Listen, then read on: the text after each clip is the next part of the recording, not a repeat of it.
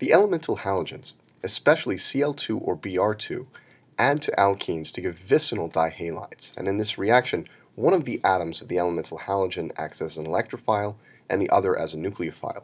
Unlike the previous examples we've seen, this mechanism does not involve a discrete carbocation, but as we'll see, it does still proceed with kind of pseudo-Markovnikov selectivity based on the location of positive charge in a key intermediate in this process. The key intermediate, by the way, has a structure that's reminiscent of an epoxide, with a halogen atom part of a three-membered ring with a formal positive charge.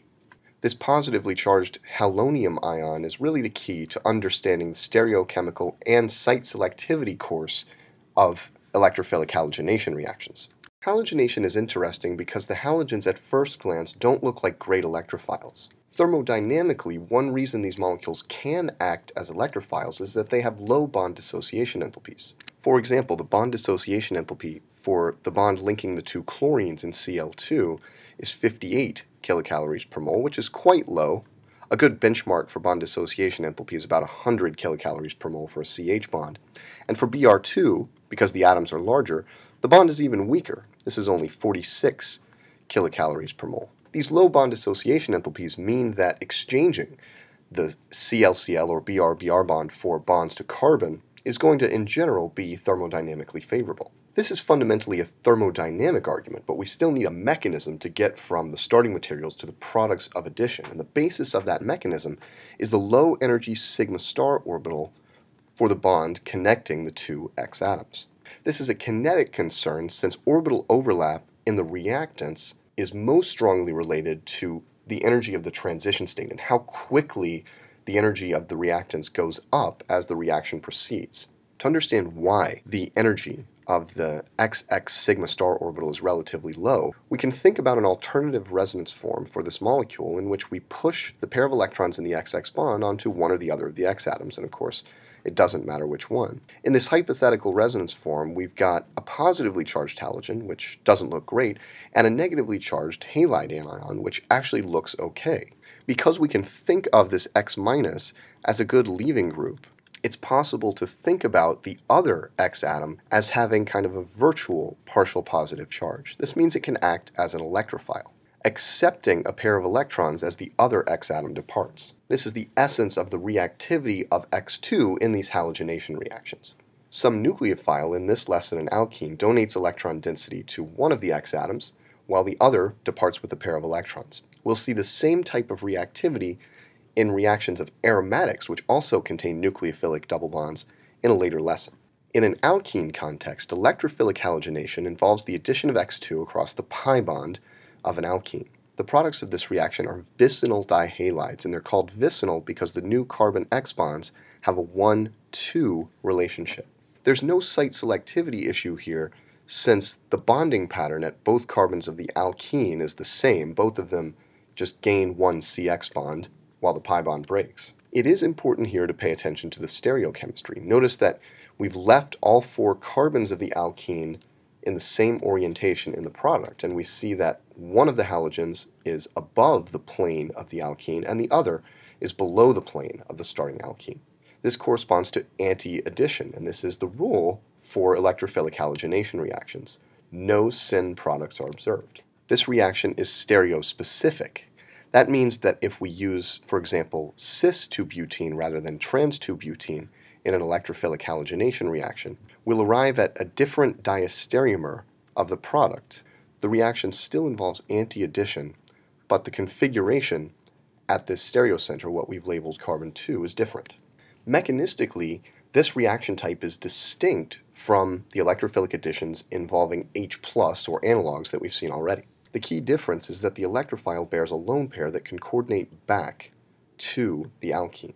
The first step of the mechanism is then kind of an unconventional electrophile association step, where there, where there is coordination of the alkene to the halogen atom and departure of X with a pair of electrons, but at the same time, a pair of electrons on the electrophilic X atom is donated back to the alkene. As a result of this, two bonds to X are formed simultaneously to both carbons of the alkene. This electron flow leads to the formation of an interesting intermediate containing a positively charged halogen atom within a three-membered ring. Stereochemically, because both bonds to the X atom were made simultaneously, the methyl groups maintain the orientation that they had in the starting alkene. They're trans in the starting material, and they're trans in this halonium ion intermediate as well. This step has also given rise to X minus, and we can think of the situation now as analogous to nucleophilic substitution of an epoxide or ring opening of an epoxide. X minus adds at one of the two carbons. These two carbons are incidentally homotopic, so it doesn't matter which one it adds to at this point, they're equivalent and the carbon X bond breaks toward the X atom, leading to the product. This step is a classic SN2 ring opening step, and it helps us see why anti-addition is the rule in halogenation reactions.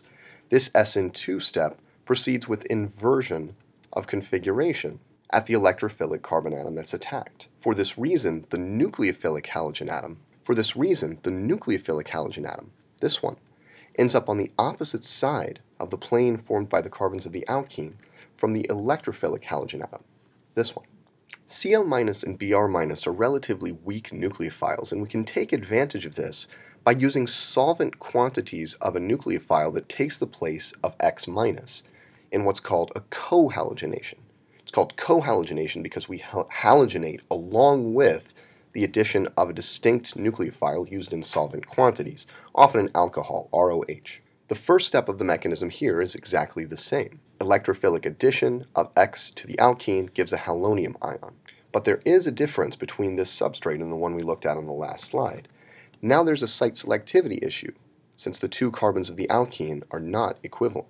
This means that the two carbons within the halonium ion are not equivalent. And we face a question as to which of these carbons the nucleophile attacks, the less substituted carbon through electron flow like this, or the more substituted carbon through electron flow like this. Well, think back to our studies of the protonated epoxide, which is very similar to this case, with OH plus replacing X plus. In that case, we noted that because the more substituted position bears more partial positive charge than the less substituted position, it will react preferentially with the nucleophile. The exact same principle is in play here.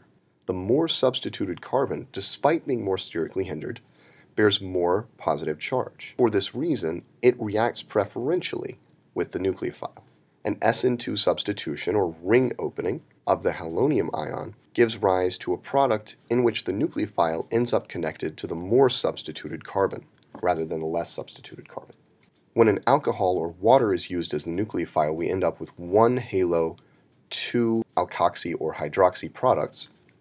And here again, because the SN2 ring opening proceeds with inversion of configuration, anti-addition is observed. That's not necessarily an issue here because carbon 1 isn't a stereocenter, but in general this can be an issue.